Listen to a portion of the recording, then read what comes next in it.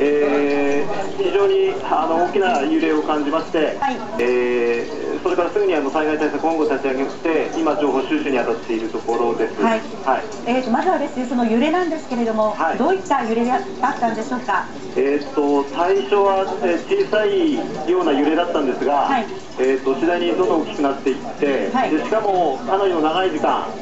えー、揺れが収まらなかった状況ですね。はい。なるほど。はい、あのその揺れてた時間帯っていうのはどのぐらいだったんでしょうか？えーとですね、ちょっとわからないですが、はい、いずれかなり今まで経験したことがないような長い時間です。はい。はい。あのそれは主に横揺れということですね。